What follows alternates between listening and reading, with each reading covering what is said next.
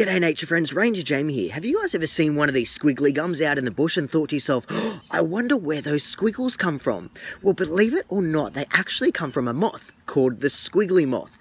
And what actually happens is that the moth flies down when there's bark on this tree at certain times of the year, flies down and it lays its eggs between the bark and the tree.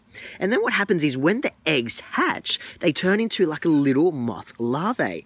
And then it's really, really cool. If you look closely, you can always see that the squiggles start off really, really small because that's when the egg hatches. And then as the squiggly moth larvae grows bigger and bigger, the little hole, the little burrow gets thicker.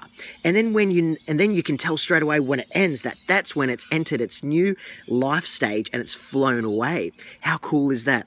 Thanks so much for watching guys and if you learned something that is awesome. And remember when anyone says, oh, "Where did you learn that cool fact?" you can say, "Hey, Ranger Jamie taught me."